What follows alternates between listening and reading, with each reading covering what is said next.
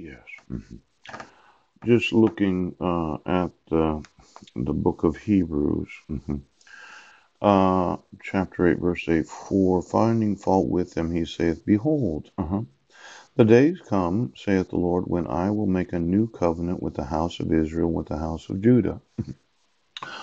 Not according to the covenant that I made with their fathers in the day when I took them by the hand to lead them out of the land of Egypt, because they continued not my covenant, and I regarded them not, saith the Lord. For this is the covenant that I will make with the house of Israel after those days, saith the Lord. I will put my laws into their mind and write them in their hearts, and I will be to them a God, and they shall be to me a people.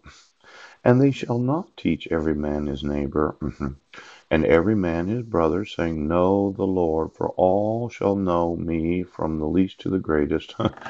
for I will be merciful uh, to their unrighteousness, and their sins and their iniquities will I remember no more. In that he saith, A new covenant he hath made uh, the first old. now that which decayeth and waxeth old is ready to vanish away.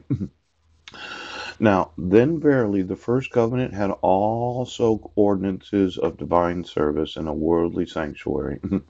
For there was a tabernacle made, the first wherein was the candlestick and the table and the showbread, which is called the sanctuary. and after the second veil, the tabernacle, which uh, is called the holiest of all. which had the golden censer and the ark of the covenant overlaid round about with gold, wherein was the golden pot that had manna and Aaron's rod, uh, then budded that budded, and the tables of the covenant. Yeah. And over it the cherubims of glory shadowing the mercy seat, of which we cannot now speak particularly. Mm-hmm. Now, when these things were thus ordained, the priest went always into the first tabernacle, accomplishing the service of God. Mm-hmm. But into the second went the high priest alone once every year. Uh, not without blood, which he offered for himself and for the errors of the people.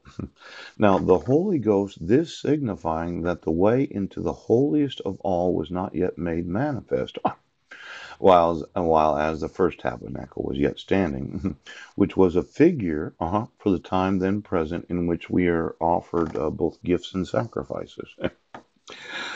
That could not make him that did the service perfect. You couldn't be perfected because of the gifts and sacrifices as pertaining to the conscious, the conscious mind of the individual, which stood only in meats and drinks and diverse washings and carnal ordinances uh, imposed on them until the time of Reformation. Yeah.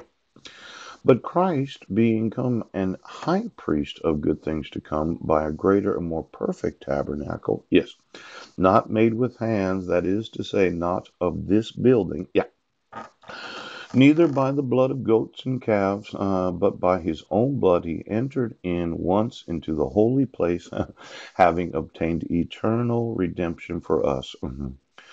Now, uh, this idea of entering the holiest of holies, yeah. Mm-hmm. Well, this is kind of a revivalist type of experience where you get to be in the holiest of holies because that's where Christ is. Yes. And it requires an actual uh, large group of individuals that are praying that God would do something for them. now, I get to be, yes, if I do what I'm planning, right, I get to stand on the stage and I get to stand in the holiest of holies so Jesus, yes, can do the miraculous. It's a personal goal of myself. Now, um, this idea of entering the holiest of holies because you're in the way, yes, where you come to find out what the service was about, where you're fucking those in the congregation or fucking through them. Somehow, I don't think that was part of the original redemptive work of Christ. Yeah.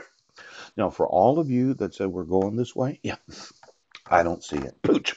I don't see coming to find out what the service was about as actually the getting into the holiest of holies, or maybe even uh, through the first yes veil. Yeah. Now, those that said, well, I'm just going to have to fuck them, pooch, there's a big problems with the use of your technology. Yes, I think that when you get into that most holy place because of what Christ had done, yeah, the redemption, yes. hmm The was there word reformation here? Tabernacle, once your blood offered, and so not made manifest in the tabernacle.